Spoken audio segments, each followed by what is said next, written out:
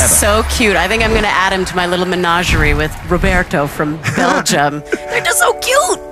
They're just so cute. There's getting more and more people in your menagerie. Well, you know, I like to collect cute little people.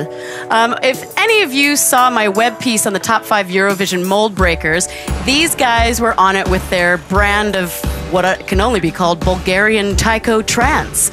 So I, for one, am excited they're back, and they are really throwing everything they've got. You might wonder what in the world you're watching at some points. It's quite random. Don't worry.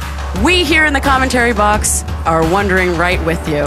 Here we have uh, what really can only be described as the Bulgarian Sheila E. and company, Elitsa and Stoyan, with Samo Shampioni, which means only champions for Bulgaria.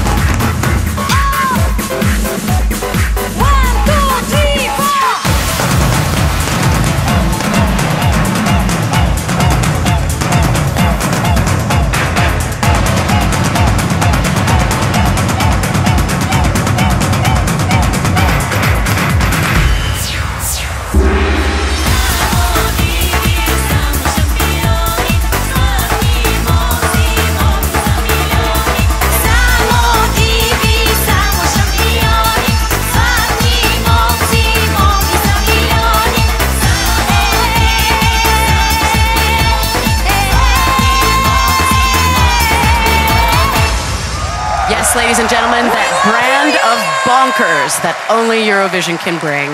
Bulgaria! A lot of energy, apart from those three girls at the back who did look like they didn't want to be there. Yeah, no, they were. They were rubbish. They weren't having weren't having so much fun. Wallflowers.